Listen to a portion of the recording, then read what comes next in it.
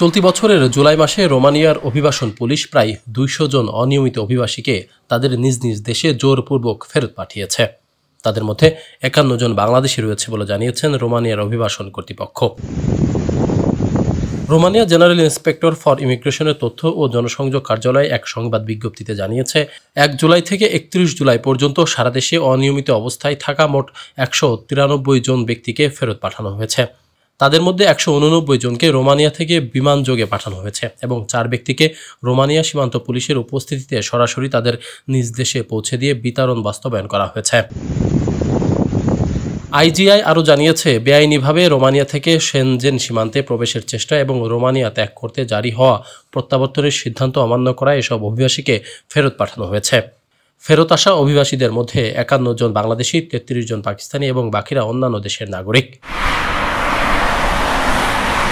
Romania দীর্ঘদিন ধরে ইউরোপের মুক্ত চলাচলের অঞ্চল সেনজেন জোনে প্রবেশের চেষ্টা করে আসছে।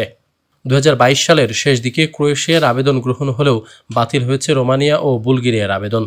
ইইউ এর শর্ত পূরণে স্বল্পমেয়াদী ও দীর্ঘমেয়াদী বিভিন্ন ভিসা নিয়ে আসা অভিবাসীদের নিয়ে রোমানিয়া বেশ কড়া নজরদারিতে রয়েছে। সেনজেন জোনে প্রবেশ করতে মরিয়া রোমানিয়া। তাই সীমান্তে কড়া নিরাপত্তা বজায় রেখে ইইউ এর দেশগুলোর সম্মতি পেতে চেষ্টা করছে বলে অভিযোগ করেছে এএনজি ও অভিবাসন সংস্থাগুলো।